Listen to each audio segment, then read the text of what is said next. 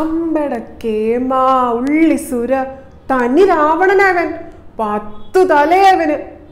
ആളെ അങ്ങോട്ട് മനസ്സിലായില്ല അല്ലേ? ബി ജെ പിക്ക് കേരളത്തിൽ പച്ച തൊടാൻ പറ്റാത്തത് ഇവന്റെ ഈ കുരുട്ടുപുതി കൊണ്ടാ. ഇവൻ ഇവിടെ ഉള്ളപ്പോ ബി ജെ പി എങ്ങനെ രക്ഷപ്പെടാനാ? ബി ജെ പി സംസ്ഥാന നേതൃത്വം അത്ര പോരാ എന്ന് ബോധ്യപ്പെട്ടത് കൊണ്ടാണ് സുരേന്ദ്രനെ മാറ്റണമെന്നും പിന്നീട് ഇലക്ഷൻ കഴിയുന്നതുവരെ തുടരട്ടെ എന്നും കേന്ദ്രം പറഞ്ഞിരിക്കുന്നത്. ലോക്സഭാ ഇലക്ഷന് എങ്ങനെയെങ്കിലും അഞ്ച് സീറ്റ് പിടിക്കണമെന്നാണ് ബി ജെ പിയുടെ ലക്ഷ്യവും കേന്ദ്രത്തിന്റെ നിർദ്ദേശവും. അതിനായി സുര ഓരോ അമ്പുകൾ തൊടുത്തു വിടുന്നുണ്ട്. പക്ഷെ അതൊക്കെ സുരക്കെതിരെ തിരിഞ്ഞു വരുന്നതാണ് നമ്മൾ കാണുന്നത്. ഒന്നേ ചോദിക്കുന്നുള്ളൂ. ഇനിയെങ്കിലും ഒന്ന് നന്നായി കൂടെ സുര. സുരയുടെ പുതിയ കുരുട്ടുബുദ്ധി എന്താണെന്ന് നോക്കാം.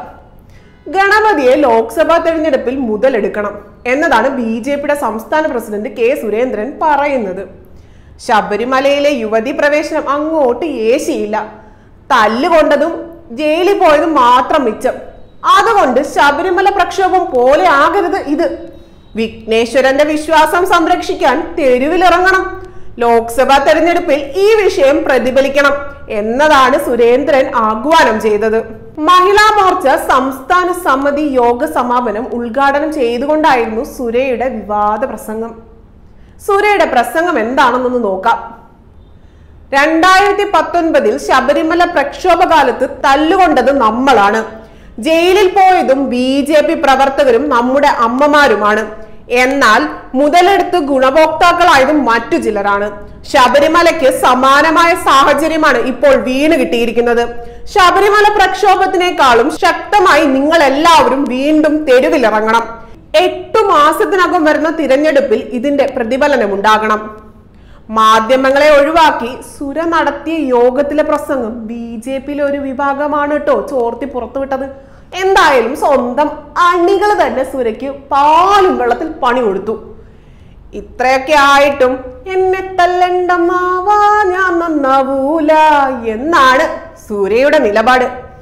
രണ്ടായിരത്തി പത്തൊൻപതിൽ നിന്നും ഒന്നും പഠിക്കാത്ത സൂര നീ എങ്ങനെ നന്നാവാനാണോ എന്തോ? അടുത്ത സൂര്യയുടെ ഒരു കിഡിലൻ തള്ളാണ് കേട്ടോ. ശബരിമലയിൽ നമ്മൾ തല്ലുകൊണ്ടു. നമ്മുടെ അമ്മമാരെ കേസിൽ കുടുക്കി. പക്ഷേ ഗുണഭോക്താക്കളായത് വേറെ ചിലരാണ്.